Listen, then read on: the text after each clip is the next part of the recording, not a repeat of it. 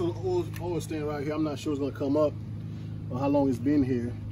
So we're gonna try to remove this oil stain. What do you got in your hands? Uh, it's a degreaser, heavy duty, uh, heavy duty degreaser from uh, pressure washer products. Okay, so we got a degreaser. We're gonna remove this oil stain, and then what else you got? A brush? Uh, yeah, I'm gonna agitate it. Okay. Um, it works better with uh, with hot water, Okay. but we're gonna try it with cold. Let's I do see it. have a hot water machine in there just in case. How to remove an oil stain the right way.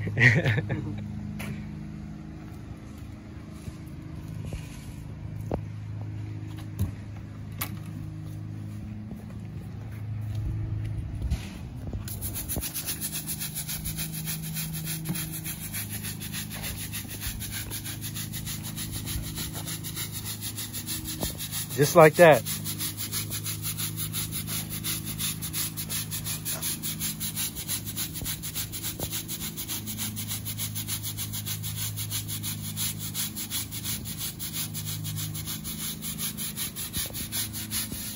And it's gone.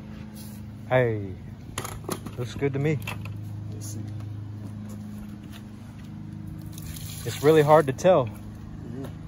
Because if when the oil when it's wet you can't barely see it. So we just got to let it dry